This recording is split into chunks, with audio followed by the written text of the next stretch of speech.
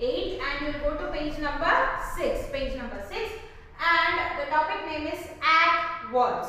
So previously हमने जो three letter word सीखा था ना at